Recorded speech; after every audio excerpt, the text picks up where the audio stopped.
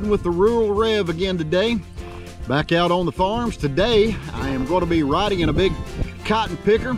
Going to be riding with Bryant Family Farms. The Bryant family are very active members of Creeksville Baptist Church. And so today, I'm going to be riding with them, hopping up in a big cotton picker and uh, working our way through a pretty good sized field here just outside Jackson, North Carolina in Northampton County.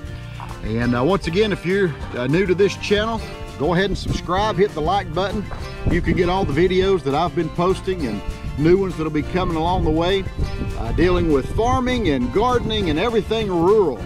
Uh, and uh, I'm a pastor here in Northampton County, Pastor Creeksville Baptist Church, and just enjoying getting out and riding on the big equipment with all the guys in my church that uh, run these farms. And so I hope you enjoyed today's video.